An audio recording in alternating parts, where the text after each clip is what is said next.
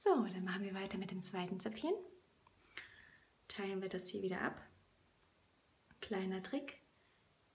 Diese Haarpartie, die hier ist, die am besten nicht mit reinflechten, weil die eigentlich nicht in die richtige Reihe gehört. Das sieht dann merkwürdig aus, wenn wir den Zopf nachher nach hinten legen wollen. Also das wirkt nicht so gut. Nehmt am liebsten von hier abgeteilt eine Strähnenpartie. Alles, was dahinter liegt, nicht mitnehmen. So, eigentlich die hier nicht noch, genau. So. Dann können wir das nämlich gleich, ohne dass es irgendwie die Haare durcheinander bringt, gleich so drüber legen. So. Dann teilen wir wieder, so, teilen wir wieder die Partie in drei Teile. So. Und dann können wir wieder anfangen. Ich fange immer eigentlich auf der linken Seite an und lege sie über die Strähne. Habe jetzt noch die jetzt mittlere Strähne und mittlere in der linken Hand. Und beim Aufnehmen der mittleren Strähne nehme ich beide in die Hand und hole mir von der anderen Hand die Strähne rüber. Achtung hier ein bisschen aufpassen, dass sie euch nichts verzibbeln. So. Und dann einmal hier versuchen immer den Zopf so ein bisschen fest zu ziehen, damit das Muster gut erkennbar ist am Ende. Und versuchen auch immer gleichmäßig den Zopf fest zu binden, damit das Muster nicht unregelmäßig wird. So.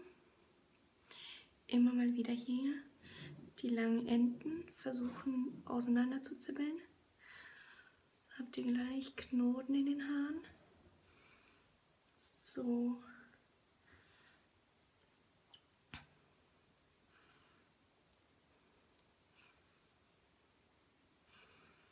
Okay. Ich glaube, das reicht fürs Zeigen. Wieder die Strähne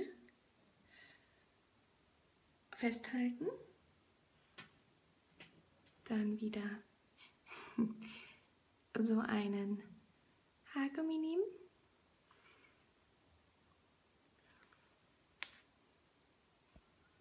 Und dann festbinden.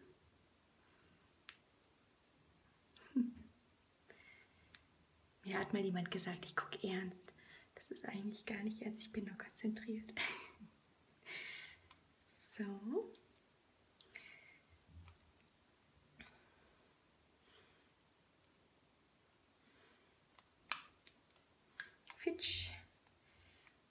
So, das Haargummi muss eigentlich gar nicht so fest sein, das hält eigentlich schon. So, dann haben wir jetzt die Strähne. Und gut wäre, wenn sie ungefähr in die gleiche Haarspange reingefedert werden kann.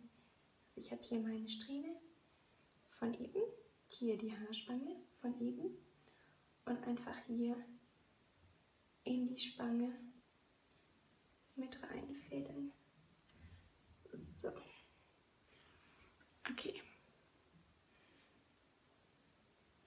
Jetzt könnt ihr, wenn ihr wollt, und noch Muckis habt, ähm, noch eine weitere Strähne machen. Dann könntet ihr hier ein bisschen noch abteilen und ungefähr diese Strähne hier nehmen. Ist nicht ganz so groß, aber man könnte es machen. Wie gesagt, die hinteren immer nicht mitnehmen, weil das dann merkwürdig aussieht. Beim Nehmen der Frisur nach hinten legen.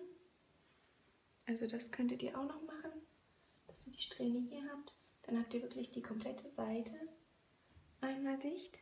nach hinten gemacht, aber so reicht es eigentlich auch schon.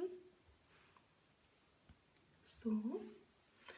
Und wenn ihr jetzt wollt, könnt ihr da eine Blume oder irgendwas in Zahn machen, damit ihr die Spange nicht seht. Das mache ich doch glatt. Ich habe da mal was vorbereitet. ähm, das ist jetzt so ein, so ein Blümchenspange. Die hat hier so einen Klettverschluss. Und ähm, ja, zum Aufklipsen, kein Klettverschluss, Quatsch. Ein Clipsverschluss. Und den mache ich jetzt einfach hier, da wo die Spange ist, könnt ihr sie einfach drüber machen, dann sieht man die Spange auch nicht und alles sitzt ein bisschen fester. So, das ist Version 1 zum Flechtzopf. Bis später, eure Lia.